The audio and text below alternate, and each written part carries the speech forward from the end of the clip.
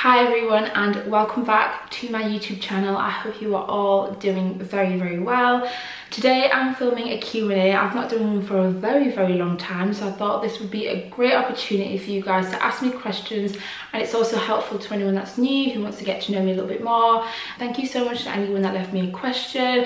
Um, I will try and answer as many of these questions as possible. If you see me melting, I'm melting because today it's 40 degrees. It is so so hot um, it's literally as hot as Morocco right now and in the UK our houses are not built for hot weather so I'm melting and I cannot put the fan on. We don't have aircon. I'm melting. I'm literally melting. The first question is update on your journey to becoming a full-time creator and how it's going. Do you have support from family and friends? I'm constantly trying to get people to respect my home office boundaries and take what I do seriously. Curious if you deal with these issues. Oh, I'm so sorry that you're going through this. I definitely have struggled. For me, I found that it's really hard to get people to respect what you do when they don't fully understand it. So when people come to me and they ask me questions, I try to answer um, as honestly and openly as possible if they have genuine question. I've also had situations where people have asked me questions but I feel like they're just mocking me. Content creating, being an influencer, um, it comes with loads of perks but but in some ways people don't understand. They feel like it's not a real job it's not a real career path you don't do anything there's nothing behind the scenes that they don't see.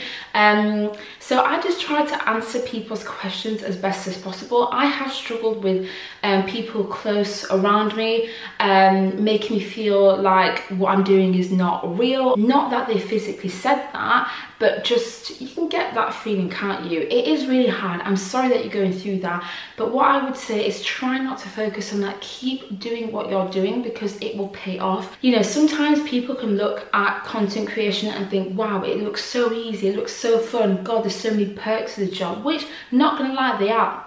There are a lot of perks to the job but sometimes i feel like people can minimize you or um, dismiss what you're doing because secretly inside they kind of wish they had what you had. Maybe it can be the opportunities that you get. Personally speaking my content creation journey um, i'm loving it. As you can tell i love doing this um, job this career path. I am so grateful that i am born in a time where i can do a job like this um, and have the opportunities. Don't get me wrong, there's definitely ups and downs with this career path, but um, so far everything's going well and I'm thoroughly enjoying it. Next question is, I wanted to know what made you start a YouTube channel and has YouTube been beneficial to you mentally, emotionally, financially? Um, okay, so what made me start my YouTube channel? I started my YouTube channel years ago. I'm gonna be completely honest with you. Um, what made me start my YouTube channel? I had just lost my mum um, and I was going through a really, really hard time and um, I'd watched I'd watched YouTube since I was like 11 or something or whenever YouTube started years and years ago and I was obsessed with makeup videos and I would watch them all of the time. And um, anyway I'd recently lost my mum and I was just in a really dark place emotionally just feeling very lonely and feeling like the people around me i just couldn't connect with people around me. And i wanted to find like-minded people i wanted to find like-minded people who had similar interests to me and i just wasn't getting that from everyday the people in my uh, life. So I created my YouTube channel um, as a hobby, as something to do, um, as a way of connecting with people. Doing YouTube and Instagram is now my full-time career. It's given me a career path, it's given me purpose. Um, specific, specifically with YouTube, I feel like YouTube, people who watch my YouTube, I'm like, I feel like you really get to know who I am um, so um, yes, YouTube has benefited me. YouTube has benefited me in so many different ways. Um, when I'm feeling down or I'm feeling low and I don't want to do anything and I have no energy, I will literally switch on my vlogging camera and talk to you guys and it makes me feel so much better. It brings me back to that 17 year old um, who was, you know, looking to find people and um, it's given me it gave me joy then and it continues to give me joy now. So I'm so thankful for this YouTube channel and people who watch and yeah I'm just you guys will never understand how grateful I am for this platform. I've built my own community where I felt like I didn't really have one before. Um, it's given me a career, um, it's just so much purpose. I absolutely love doing this and I hope I can do this forever. did you feel insecure and low self-confidence at one point and what did you do to change that? I struggle like most people, I assume. Yes, I have struggled with low self-esteem. Right now what I'm trying to do is um, be healthier and uh, eat better. I'm trying to exercise as much as possible, whether that be going for a run outside or going on the treadmill. Um, running and putting my favourite music on, honestly, it's just, I just feel, I just feel all of the endorphins just coming on. Having good people around you who you can be honest and open with is always really good. Also, if I'm feeling low, um, sometimes it can be because I'm I've been around myself a bit too much. I need to start like, I need to go outside, whether that be just go for a walk, go into town, go and look around the shops, go to the park, do something where I'm seeing people even if I'm just to be hanging out with myself. Put on a nice outfit which makes you feel comfortable and good. The next question is can we get an updated wig collection? I literally have this wig which is very new. I'll leave the video down below where I talk about this hair and also a black wig um yeah oh i also have the wig which i dyed but I, I feel like i don't have enough wigs to do a collection i'm the kind of person where i will buy a wig and i will wear it to literally the lace is showing and it's balding that's me The next two questions are kind of linked. So um, the first one is how long have you been with your boyfriend? We've been together for seven years, seven, eight years yeah, quite a long time. Do you think you would be as happy as you are if you were not in a relationship? I do think I would be happy. True happiness has to come from within. Um, so yes, I definitely do think that I would be happy even if I wasn't in a relationship. Um, but I definitely feel like being in a good relationship um, with someone who you love is, you know, just heightens that. I just feel even happier that I'm with someone who I care about and who cares about me. Do you like being a full-time influencer? Yes, I love being an influencer, content creator. I think it's just the best job in the world. The freedom, the ability to be as creative as I want, um, the opportunities that I get, um, all of that is just incredible, but there's definitely cons. I feel like one of the main cons for me are the fact that there's I feel like I do so many different roles within one job. Like I'm a video editor. Um, I shoot content. I shoot and film my own content with my own camera.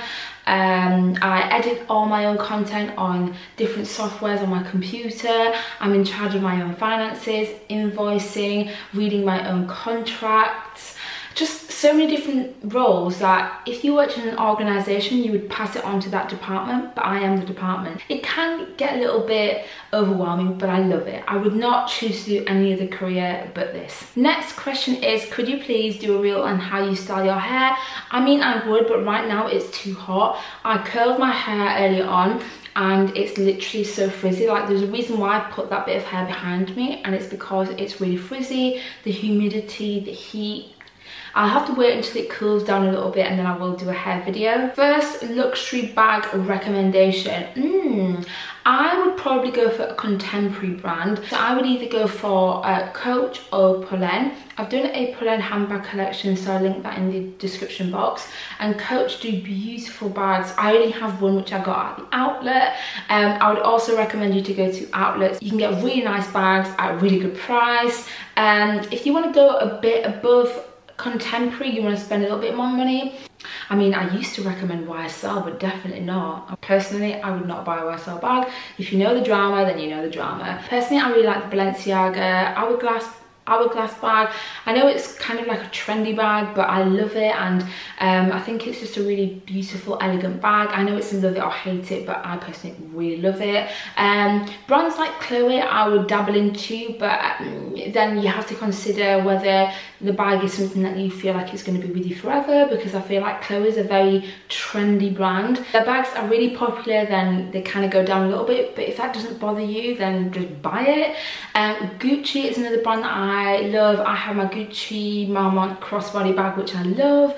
Um, the quality is really good as well, so I would definitely recommend um, Gucci as well. I'm trying to think of other brands. Another brand which I'd recommend, uh, a UK brand, is Mulberry.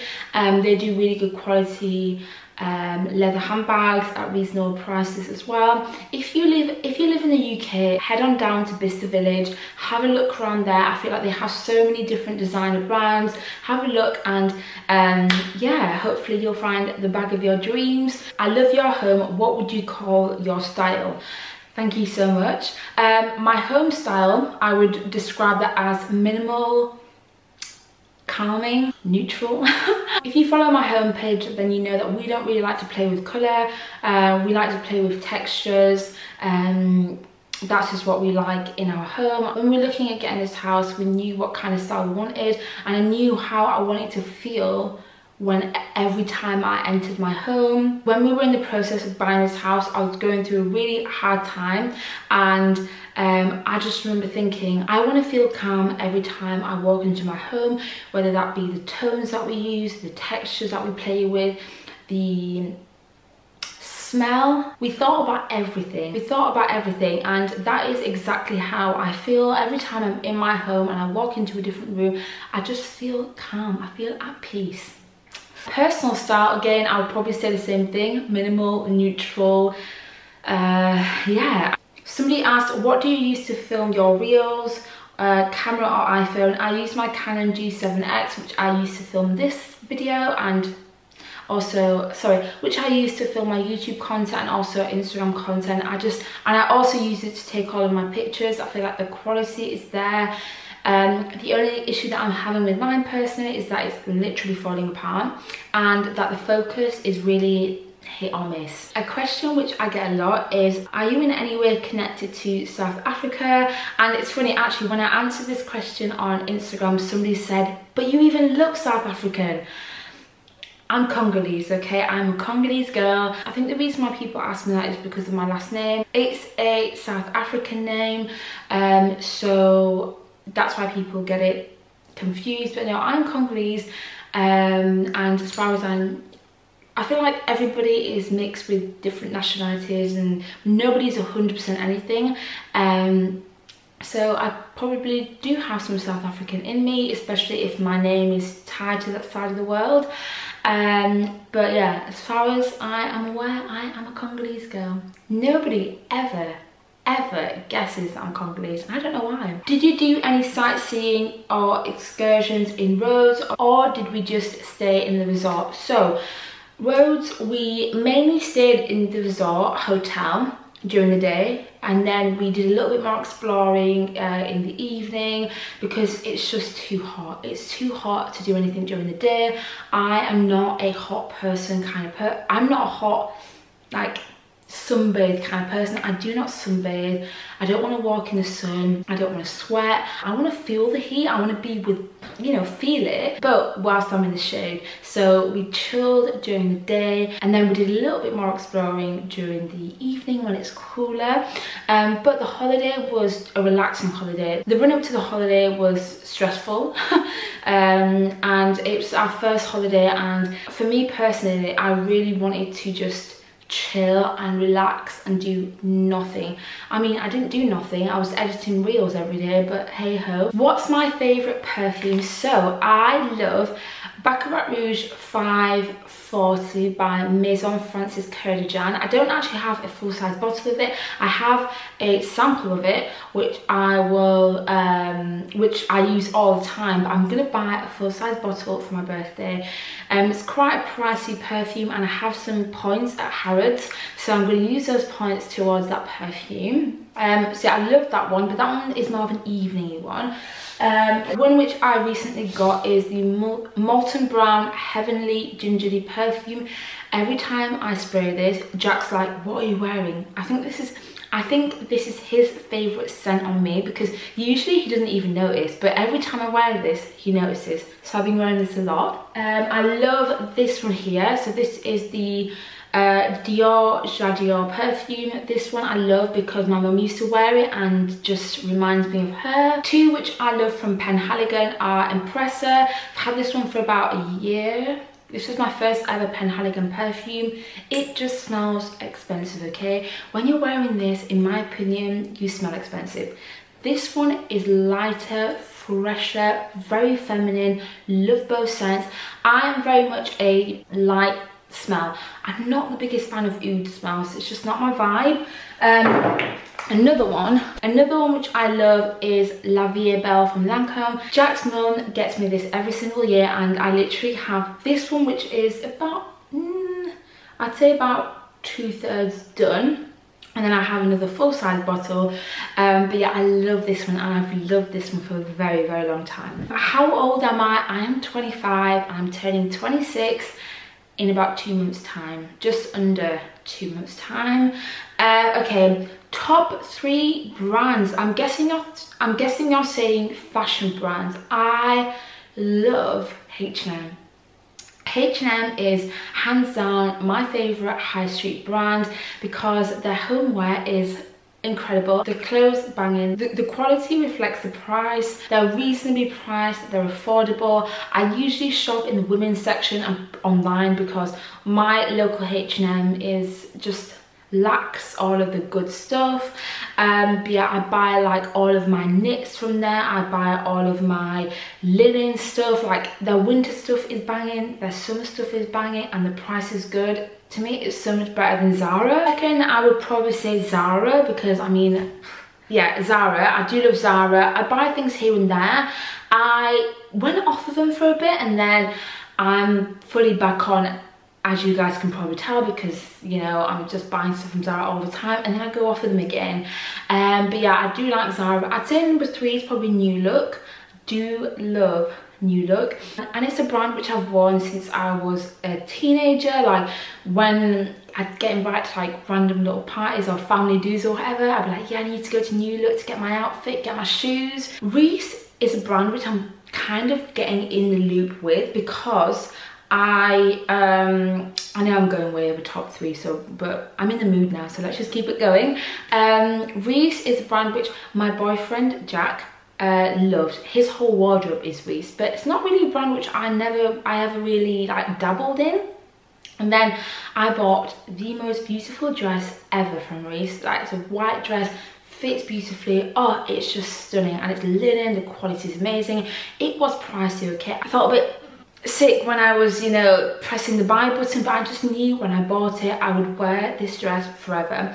And I wore it on Friday, the Friday just gone, and um, I got so many compliments on that dress. I literally had people stopping me in London, where's the dress from? I was like, babe, it's Reiss, it's Reiss, it's Reiss. Pretty Lavish is another brand which I really, really like. It's founded by two women, two sisters, love their clothes, quality is amazing yeah another brand which i love. You guys i'm sure if you've been around you would have seen me uh, style a lot of their clothing. Abercrombie. Oh my gosh abercrombie uh, is another brand which i love. And uh, i've been wearing for the last like two years. Their basics incredible. Their dresses. Oh my gosh the green dress the green dress the green dress is just what I wear on heat waves. Like when I finish filming this video, I'm gonna go put that green dress on because it's just airy and beautiful. Uh, yeah, Abercrombie, their jeans as well, their curve love jeans, I love. Yeah, Abercrombie is definitely a top top. I actually think it's better than Zara. Like take Zara off, put Abercrombie up there. Yeah. I've had quite a few questions on my workout routine. How have you lost weight? What do you do to stay in shape?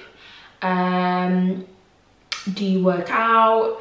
I have, as far as I'm aware, I have not lost any weight. I mean, I do really fluctuate in weight. Sometimes I gain three pounds, sometimes I do nothing and it's gone um, so i do fluctuate in weight quite a bit i am on a health kick right now mainly for my mental health because I need it. I do need it and um, exercise is really helping me. Right now I am purposefully trying to be healthier but I'm not like trying to lose weight. I'm very comfortable in my body, in my shape. Um, yeah, but in terms of day to day, all I do is I eat pretty healthy. I, I'm currently trying to go for runs like two, three times a week, going for walks, daily here and there um, but now that the weather's really good it just makes it so much easier. Um, but yeah we bought a treadmill from Facebook Marketplace for like 50 quid. The best 50 quid I've ever spent. But yeah we bought a treadmill and I've been going for runs um, on that because it's too hot even like early in the morning. Also I can run on my treadmill in the garage wigless I mean come on that's a big pro. That's a huge pro. I used to do more heavy like lifting and stuff and um, heavy squatting but actually i prefer when i'm a bit more streamlined. I've i'm naturally quite muscular person. Like it doesn't take a lot for me to um, build muscle. It really doesn't. It really doesn't and i think i'm naturally quite shapely. I've always had thick thighs um, shapely um, and because I don't put a lot of fat on the top half of my body if I'm like if I'm doing a lot of heavy lifting I just I look jacked okay?